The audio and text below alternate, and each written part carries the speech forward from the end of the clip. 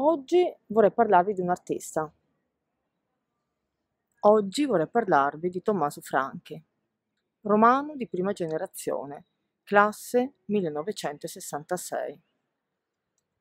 Tommaso Franchi unisce ad una formazione di carattere scientifica una vera e propria ricerca artistica che pone le sue basi sul tema della figura sul tema della figura che poi diventa immagine astratta e poi alla fine assume anche le connotazioni di essere un solo segno, sino appunto a diventare scarnificata.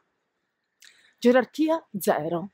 E questo è il termine che utilizza Paolo Balmas per parlare della mostra da lui curato intitolata Lettini. Perché Lettini e perché gerarchia zero?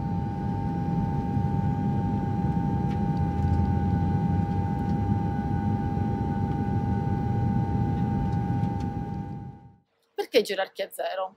Tommaso Franchi realizza una teoria di letti abitati da esseri, da piccoli esseri, i quali sono posti tutti sullo stesso livello.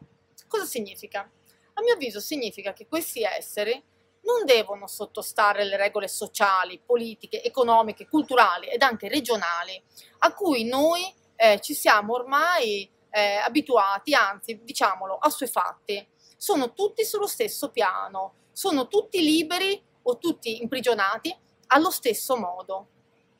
Avevamo detto lettini. Perché lettini?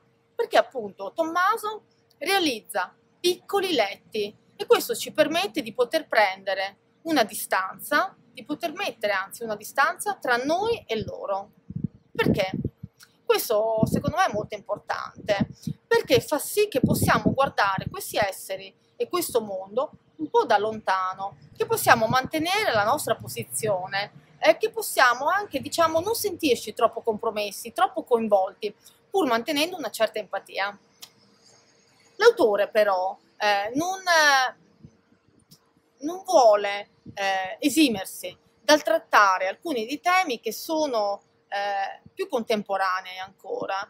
Io proprio vorrei dire che possiamo identificare come i tabù della nostra società contemporanea, come eh, la malattia e la morte.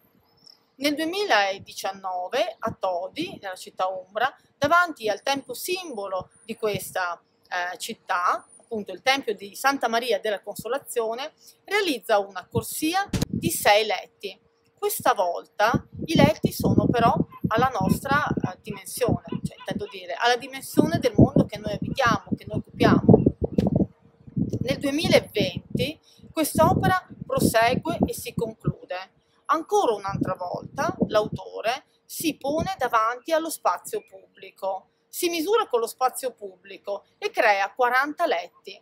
Ecco, 40 è un numero importante perché la quarantena è eh, quel periodo di tempo che una volta appurato il fatto che noi siamo malati, il medico ci prescrive di passare lontano dalla vita sociale. Eh, e una volta appunto che la medicina ha fatto il suo effetto possiamo tornare alla vita sociale, alla vita comunitaria eh, che prima eh, conducevamo in maniera normale.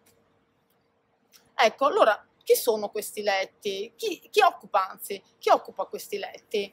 Io credo che eh, la visione di Tommaso Franchi, non solo avvenuta appunto, iniziata nel 2019, poi nel 2020, possa essere vista come una eh, lettura di ciò che poi ci è avvenuta dopo pochissimi mesi dall'inaugurazione della sua mostra e della sua installazione, ma penso anche che sia una riflessione su ognuno di noi, sulla fragilità, sulla cura, sul prendersi appunto cura, sul dare attenzione all'essere più profondo eh, che vive all'interno di noi.